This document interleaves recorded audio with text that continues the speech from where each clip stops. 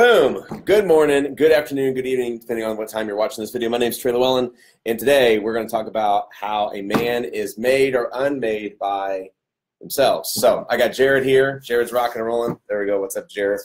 Ger- Ger- Gerard. Gerard. So basically, here's the deal: is I want to tell you a story about how I am so lucky.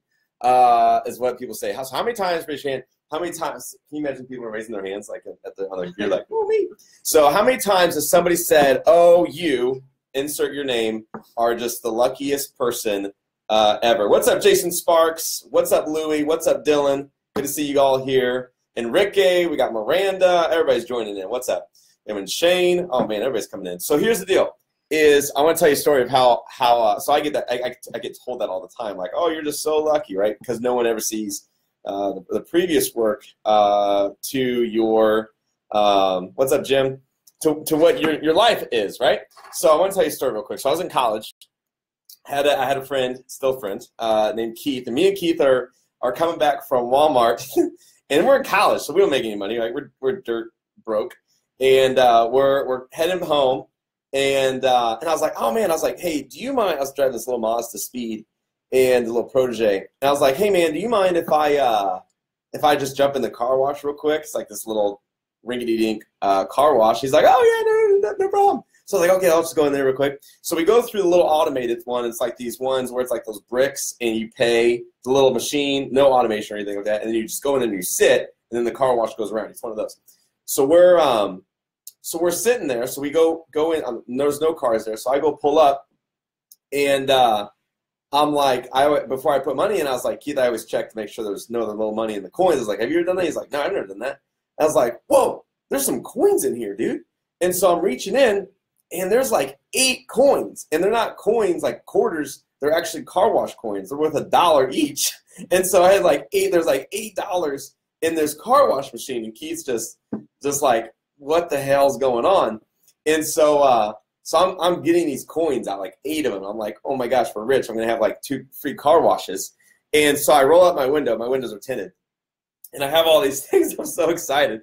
And I look over and the um uh, the owner comes out of the little manager window, little manager door. Have you ever heard this story? And so he comes out of the door, and I hold him the coins. And I was like, "Oh, Keith, he probably saw me. He probably saw that I got all these coins, these free coins, and so he's probably going to take them away from me." And so he comes up to the window and I roll it down. And uh, it's so funny because I'm reliving the story. So this guy, this manager comes up. I'm just like waiting for him. I'm like, hey, what's going on? He's like, hey, I don't know if you know this, but we're doing a special day where we're giving you, we're giving everybody free car washes. And he goes, want to make sure you got one, and hands me a ticket for a free car wash. and so I was like, oh, really? Thank you, thank you, Keith. Keith, did, did you see that? I got a free car wash today. And meanwhile, he obviously knows that I damn well have, you know, $8 worth of car washes. And he's just like, you're the luckiest guy I know. And so it's so funny because it's just weird how we see that stuff in our world. Like all like stuff like that happens all the time. Uh, it's where you just never know, you know, what life's going to bring you. So, anyways, uh, what's up, Jim? What's up, Josh? What's up, George? Adrian? Good to see you guys here. Hopefully, you enjoyed the story so far. So I wanted to, I was listening. Uh, I was listening this morning. I get. I got up at like 4:30 this morning. Jared, what time did you get up? ask. What, uh, hey, everybody, ask Jared what time. He, oh, Jared, what time did you get up, man? Uh, he was like. It was eight. He knows the time. He knows the time. He's trying to lie now. Jared, they know you're lying because you paused too long. Too long ago pause. out of bed like seven or eight. Too long ago. Seven or eight. That's an hour difference. That's an hour difference, Jared. So here's it was definitely not five. So I got up at four thirty, and I'm just bragging now. So basically, I was listening to. So I go from I go from doing a power day for like 60 minutes, or yeah, uh, yeah, 60 minutes, and then I go into uh, the elliptical for 20. And during the elliptical, I always watch uh, just some sort of like I don't know episode or some something or other, or something that I can you know kind of get something from, and I just kind of scroll through and see what happens, and then YouTube does a pretty good job of letting me know what's up going what's up going on, Lindsay. Uh, so here's what's crazy is I'm uh, I'm watching I'm watching this thing. It's Oprah of all things, so don't make fun of me because I was watching some Oprah, and uh, so it's like it was like Oprah from 20 years ago when she when she came out and she's talking about this book called The Secret. So I don't know if you guys ever ever heard of the book called The Secret. Have you heard of the book called The Secret, Jared? Nope, he's not. We got to teach him. We got to mentor Jared here. He doesn't even know what's going on. No, it's called the secrets. That's actually the law of attraction. Do you know what the law of attraction is? Yeah, like how like people like you. Like, Oh boy. Okay. We need we need to we need to work on we need to work on Jared, guys. All right, so please send your law of attraction to Jared today. But here's the deal: is we were talking about law of attraction, and she was all these all these people were you know kind of have their their their, it's like woo woo right, a little woo woo going on, and this lady said it so right in the audience of how she understood the law of attraction, which is probably one of the most popular laws of the world that we live in, this universe thing, and she goes, the law of attraction is like when you're at a restaurant, okay? And when the server comes over and she's like, hey, I would like uh, steak, a potato, and some broccoli. You expect for that server to come back and give you steak, potatoes, and broccoli, right? Like that's what you ordered. So that's what you expect. The same thing applies to your life, to the universe, to what you order through the universe. So things like, man, I absolutely have the worst family of all. Well, no joke, because you're ordering the worst family that you have, right? Like she talks about how, you know, me and my me and my spouse, we never get along. We're always in fighting. Well, you know what? That's what you're putting out to the universe right now. That's what you're ordering for the law of attraction, and that's what you're going to receive. And so it's interesting of how what we do. Jared, I'm watching you. You're just like he's having epiphanies right now. Jared's having Jared's having breakthroughs right now, right? It's a good point, right? Yeah. It's like, man, I drive the shittiest car on the street right now. Well, no joke. I wonder why. Because you put out to the universe that you are not grateful for the car you currently drive. So of course you drive the most junked up car you know that you have there. So the deal is is is the same the Maserati, the, the a Maserati the Maserati. So it's way better than a Ford. So here's the deal: is what are you putting out to the universe? What are you shouting out? What are you ordering? And that is what the title is for. As a man is made or unmade by himself. It's all about what you're putting out to the universe, what you're telling it. The law of attraction will circle around. It's amazing. I just had uh, a one a big one happen to me. Uh, what was that? Yesterday, where basically we are facilitating, we're using brute force to try and advertise a certain particular piece of our business. And here's somebody else who is already doing it, but actually doing it way better. And they're like, yeah, do you want to license what we're currently doing and just kind of add it to your platform and then we'll do all the work and you make 50% of the profits? Yeah, that sounds way better than than what we were trying to do, right? Like we're gonna we're gonna hire people and try to make them do different tasks that we have no clue what we're even trying to do. We're just gonna make it all up and then make something happen. But it's weird when you put out orders to the universe of what you need or what you want, you know, and then what you receive. I went to I'll, I'll tell you a big law of attraction, which is really crazy in my mind, uh, where a man is made or unmade by himself about what you think about what you manifest of what you if this is getting too woo woo for you guys, you know, you guys can always just jump off. But maybe you guys love this stuff. I love it. What do you do, Jared? Do you love it? I, I like looking at it like an overview, and then I like to like take it down and like no, like bring it into my life, like like what you're saying with those, like what you do like to keep the attract like positive thoughts, like bringing those into your life. It just makes me wonder, like, have I been, have I been thinking like that for the past couple weeks? And no, I haven't. Like that's where it's like I need to like I do good for a week and then I stop, and like I think it has to do with you know what you say of like having your routine, and that's what I need to get back. And Dude, routine's key. yes, it is. And I've been you know I need to get on my readings of like three or four books you've said I need to Learn, man. Learn education. So get this. So I, for who knows for how long, um, shoot, probably since, probably since I was like 17 or 18. Okay, it's like a long time ago. 12 years, 13, 14 years. So I always wanted to be on a private jet. And which is crazy, right? Like that is that is way the heck out there. And I don't even know if I told this story. You guys are getting all the good stories today. Welcome, welcome to uh, what's today? What's working now? What's working now on Fridays? It's the best day ever.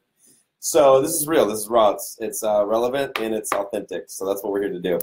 But anyways, 18, 17, I would watch or learn. I, I guess I wasn't even living in St. Louis yet. Kind of was, where like I would see these private jets, like these freaking nice jets, fly into the Chesterfield area. And I was like, damn, one day it would be just super cool to just be able to be a fly on a on, on one of those on, on a private jet. And for some reason, that was something that I set my my mind to, like my my focus on, and what you focus on expands. It's really weird how that works, but it's just still way out there, right? Like, like that's not going to happen. And but I wanted it to.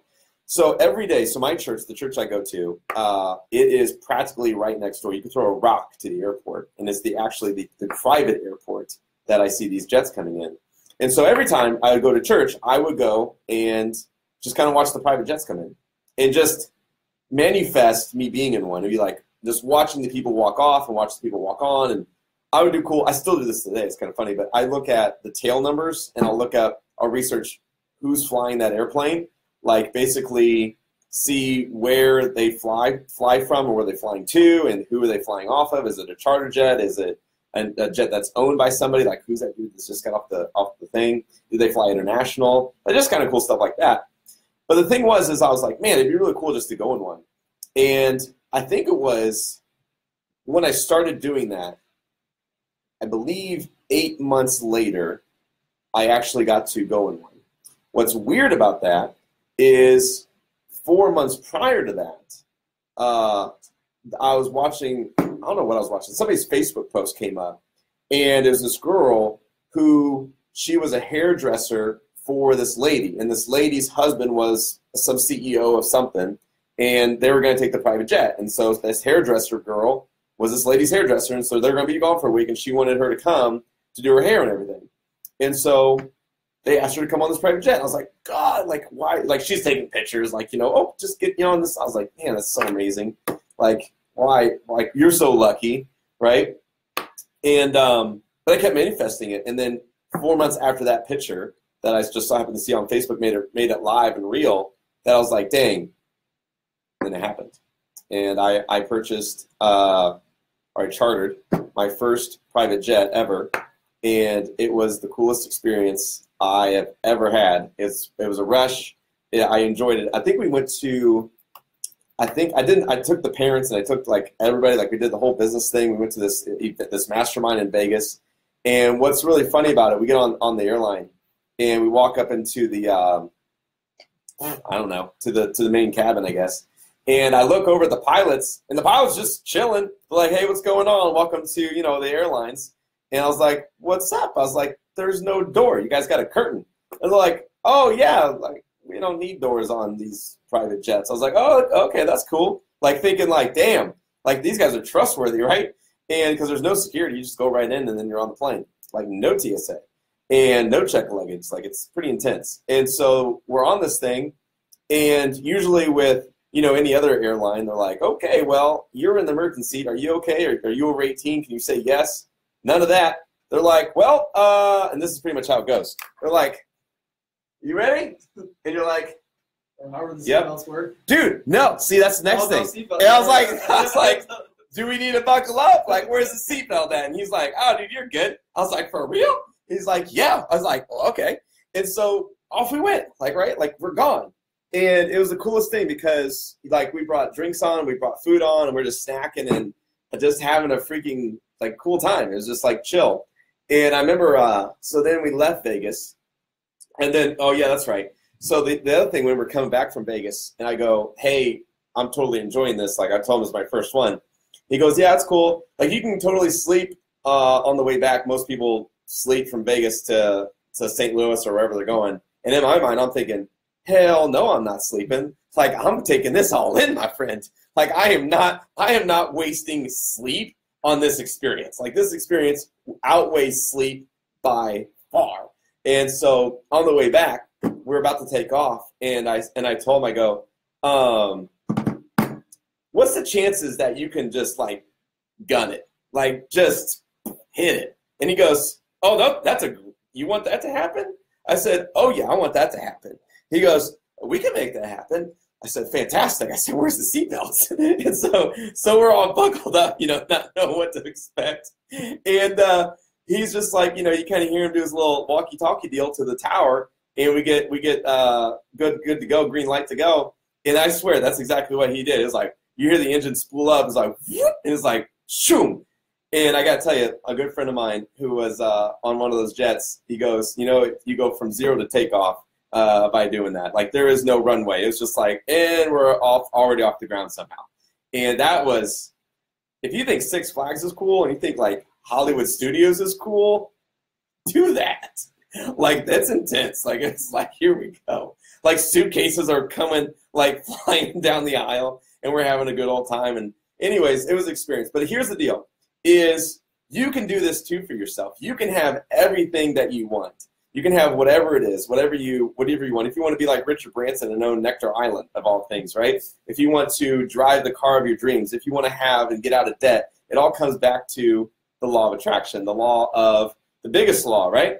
The uh, the secret is really what it comes down to is just manifesting and knowing and understanding of what you want and getting clarity in that, and being able to know and, and trust in what you're going to receive when you order it.